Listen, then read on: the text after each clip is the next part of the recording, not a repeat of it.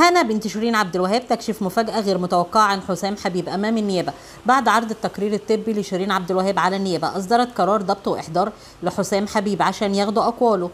بس فوجئنا كلنا بطلب شهادة هنا بنت شيرين عبد الوهاب الكبيرة. كلنا قلنا وقتها هو طالب شهادة هنا ليه؟ هو معقول البنت هتاخد صف حسام وتشهد ضد والدتها؟ أهلا بكم في قناتي أخبار النجوم مع ايمي لسه ما اشتركش يشترك ويحط ال like وال comment. أختكم محتاجة دعمكم. حابة أشكركم على دعمكم لقناتي. ورب يديمكم نعمة في حياتي. بتمنى منكم مزيد من الدعم.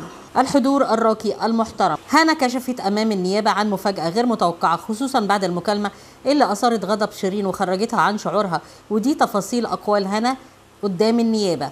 وإيه هي المكالمة اللي خرجت شيرين عبد الوهاب عن شعورها؟ حسام حبيب ما كانش متوقع ابدا إن الموضوع يكبر بالشكل ده وكان متخيل إنه هيعدي زي كل الخلافات اللي فاتت.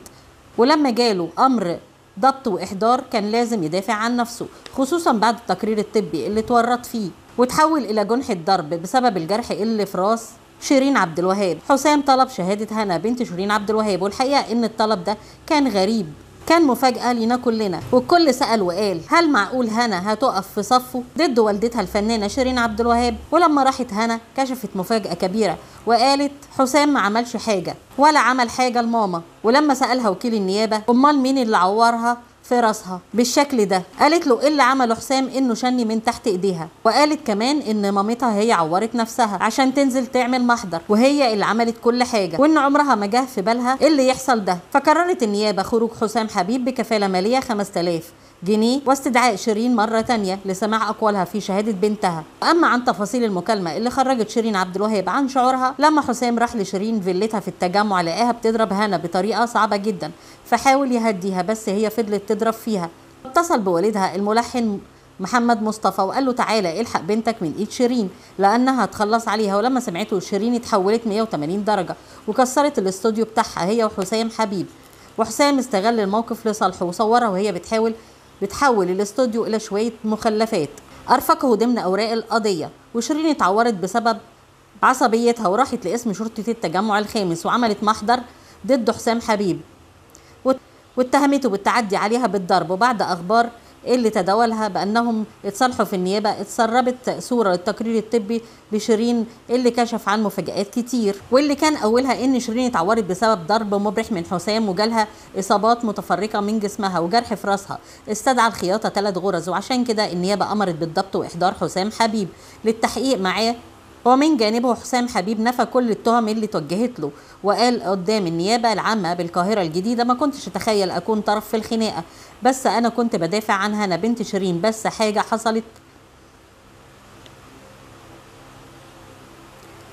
وأنا اتدخلت عشان أفك الخناقة ما بينهم وقال كمان إنه اتصل بوالدها وطلب منه إنه يحضر بسرعة عشان يستلم بنته وطلب منه إنه يبعدها عنها لحد ما ترجع لطبيعتها زي زمان. وعن سبب خلاف شيرين وبنتها رفض حسام إنه يتكلم في التفاصيل تخص شيرين وبنتها عشان صورتها قدام جمهورها. وكمان صورتها ما تهتزش. وخرج بعدها بكفالة مادية قدرها 5000 جنيه. وبعد التسريب اللي قلبت الدنيا على حسام حبيب. ردت شيرين ودفعت عن حسام واتهمت أخوها محمد بإنه هو السبب في خسارتها وأزمتها مع روتانا وإنه حرر عقد من وراها عشان يستولي على ال social media.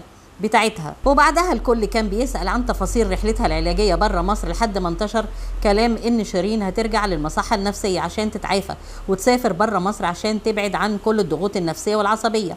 ولما اتسأل حسام رد وكشف الحقيقة وقال الكلام ده مش حقيقي شيرين بخير وزي الفل. مش هترجع للمصحة النفسية هي بس بتمر بحالة نفسية سيئة بسبب اللي عمله فيها أخوها محمد. ووجه لها رسالة وقال لها أنا طبعا بشكرها إن هي وضحت للناس إن كلامي صح وأنا سعيد جدا إن هي خرجت واتكلمت مش عشان دفعت عني بس عشان هي خرجت واتحررت. لأني كنت عارف كمية الضغوط النفسية اللي عليها. الله يكون في عونها. وانتشر تسريب من تليفون حسام كشف فيه كتير من الأسرار وقال إن أنتوا ما تعرفوش اللي عيلتها بيعملوه فيها. وأنا ما يشرفنيش إني أنتمي لعائلة شيرين هم ظالمين بنتهم. حسام كشف كمان عن عدم إصدار شيرين لألبومات وأغاني جديدة وقال الأغاني خلصانة وزي الفل وتحفة. بس شيرين مش في المود من كتر اللي اتعمل فيها من أهلها وهي مش هتطلع تتكلم عنهم لأنهم أهلها. علشان كده قررت أنا أتكلم لأنهم مش أهلي وما يشرفنيش إن هم يكونوا أهلي. دول ناس ظلمة. وكشف عن مفاجأة جديدة وقال أنتم ما تعرفوش حاجة أهلها باعوا السوشيال ميديا بتاعتها. وكمان كشف حسام إن أهلها استولوا على كل بيوتها وفلوسها وممتلكاتها وكل طاقتها. وقال حسام ك... كمان قال إن أخوها محمد دخل عليها أوضة نومها ب 20 راجل واعتدى عليها وخبطها بسلاح وكان بيهددها طوال 24 ساعة. حسام قال كمان أهلها رفضوا يصبروا عليها ويدعموها حتى لو مش هتغني تاني. لأن الكلام ده كان بيحسن نفسيتها لأنه أقرب واحد ليها وعارف شخصيتها كويس. واتعرض حسام لانتقادات الجمهور والمتابعين وكتير منهم شككوا فيه وقالوا إن حياة شيرين مش في أمان وفي حاجة مش مفهومة خصوصا بعد انتشار خبر خطوبتها في الأيام القلائل الماضية. وإلغاء حفلتها في دبي وأخيرا استعدادها لرحلة علاجية بالخارج. وكل ده من غير أي تسريح ليها. كل ده وأول رد فعل ليه ليه هو حسام. طلع ودافع عن نفسه وكشف عن مفاجأة كبيرة إن أخوها محمد وقع توكيل بأثر رجعي. بأنه يتنازل فيه عن ال social media بتاعتها. بتاعت شيرين عبد الوهاب. أخته بدون علمها لأن التوكيل ملغي. عشان كده اتقدم بلاغ رسمي من النائب العام. وقال كمان حسام أنا ما بقولش كلام مرسل أو اتهامات مش موجودة. وكشف إن شيرين مقدمة بلاغ باللي حصل عن طريق المحامي ياسر كنطوش وقال المفروض الناس بدل ما تهاجم المفروض تفهم من السبب في منع شيرين من التواصل مع جمهورها. أو إنها تنزل أغاني جديدة. وقال إنه متضايق من تسريب اللي حصل من على تليفونه لأن ده شيء غير أخلاقي. وأكد حسام حبيب إنه هيتقدم ببلاغ للنائب العام. فأي حد هيتكلم عنه سواء من الجمهور أو الصحفيين وإنه مش هيتنازل ابدا عن حقه.